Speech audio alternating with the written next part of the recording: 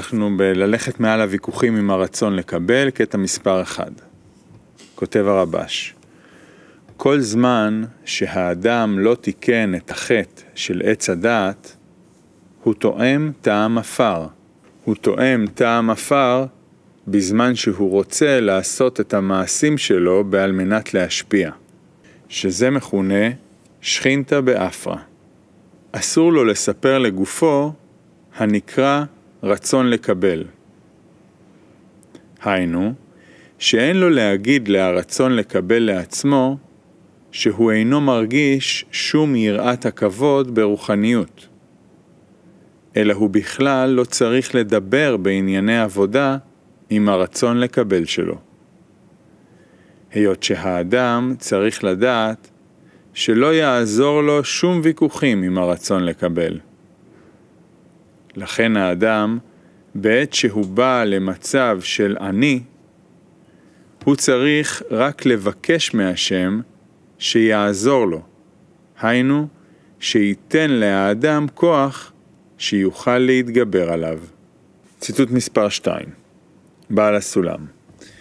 יש לדעת, בזמן העבודה, כשאדם, כש... שוב, יש לדעת, בזמן העבודה, כשהרצון לקבל בא לאדם עם טענות שלו, אינו מועיל שום ויכוחים עמו, ושום שכליות.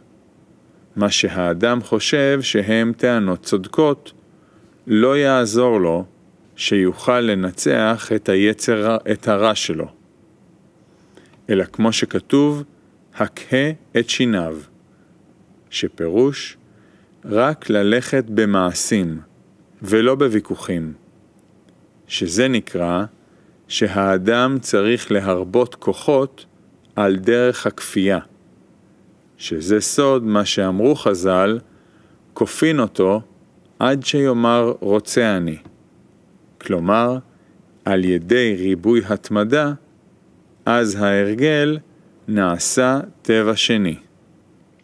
קטע מספר 3 כותב הרבש בזמן שהגוף שאל את השאלות ורוצה להבין את הכל בתוך הדעת, ואז צריכים לומר להגוף שהשאלות שלך לא מעניין אותי, היות שאני הולך למעלה מהדעת. וזה שכתוב, נתן בו עיניו ועשה אותו גל של עצמות. פירוש שעשה אותו גל של עצמות, הכוונה על השאלות שלו.